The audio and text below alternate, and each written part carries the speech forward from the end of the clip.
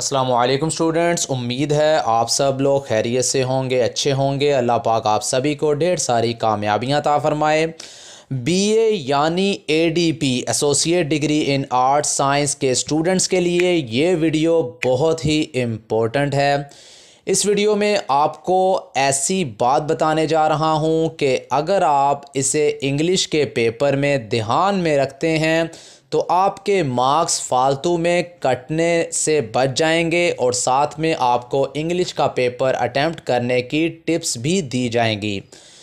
बहुत से स्टूडेंट्स हमारे चैनल को बहुत लाइक करते हैं और अप्रिशिएट करते हैं, क्योंकि स्टूडेंट्स को हमारे चैनल पे बहुत अच्छी अच्छी वीडियोस जो कि स्टडीज़ से रिलेटेड गेस्ट पेपर्स और स्टडी टिप्स एंड टेक्निक्स के हवाले से मिलती रहती हैं। जो स्टूडेंट्स इस चैनल पे न्यू हैं, वो भी इस चैनल को सब्सक्राइब कर लें और बेल आइकन बटन पे भी क्लिक कर दें ताकि आपको हमारी अपडेट्स आसानी से मिलती रहें।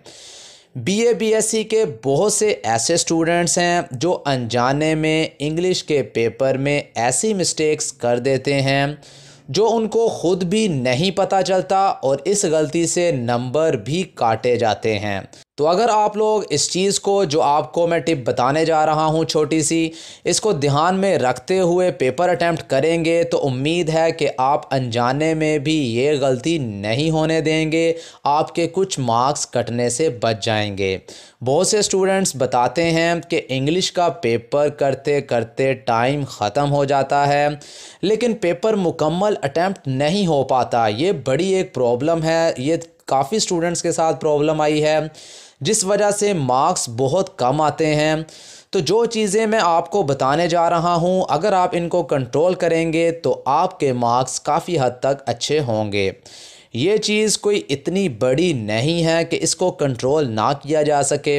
बस थोड़ी सी नेगलिजेंसी की वजह से ध्यान में नहीं रहता और स्टूडेंट से ऐसी मिस्टेक्स हो जाती हैं। तो स्टूडेंट्स इस बात का ख्याल लाजमी रखा करें कि जिस सवाल में जितने वर्ड्स लिखने का कहा गया होता है, उससे ज़्यादा लेंथी जवाब मत लिखा करें, वरना आपका टाइम काफ़ी वेस्ट हो जाता है और टाइम के अंदर अंदर पेपर भी कंप्लीट अटैम्प्ट नहीं हो पाता, जिस वजह से आपके मार्क्स कम आते हैं।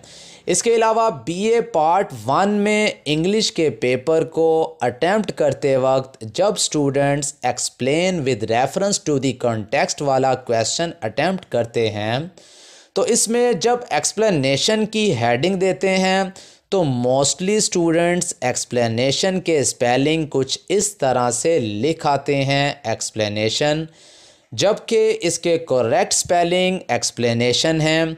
मतलब एक्सप्लेनेशन में यहाँ आई नहीं आता। तो इस चीज़ का ख़ास ख्याल रखना है ताकि ये मिस्टेक ना हो सके, वरना इस वजह से एक तो पेपर चेकर की नज़र में गलत इम्प्रेशन पड़ता है और साथ में फालतू के मार्क्स कट जाते हैं। क्योंकि जब आप हेडिंग में ही ये गलती कर दोगे तो इसका इम्प्रेशन पेपर चेक करने वाले की नज़र में बहुत गलत पड़ता है। जिससे फिर मार्क्स भी ठीक ठाक काटे जाते हैं। हमारी पेपर चेकर से भी बात होती रहती हैं। उन्होंने भी इसी बारे में बताया था कि ये एक कॉमन गलती है जो काफ़ी स्टूडेंट्स में सेम है। लिहाजा आप लोग इस गलती को कंट्रोल कीजिएगा। तो स्टूडेंट्स, ये थी कुछ इंपॉर्टेंट बातें जो कि आप लोगों के लिए बहुत ज़रूरी थी। हमारे चैनल पे और भी B A B S C के गेस्ट पेपर्स आपको मिल जाएँगे और मज़ीद आगे भी हम इस तरह की वीडियोस आप लोगों के लिए लाते रहेंगे। तो आप लोग हमारे चैनल के साथ टच में रहिए और इसको सब्सक्राइब कर लीजिए। वीडियो को लाइक करना मत भूलिएगा। अब तक के लिए इजाज़त दीजिए। नेक्स्ट वीडियो में मिलते हैं। अल्लाह हाफिज़।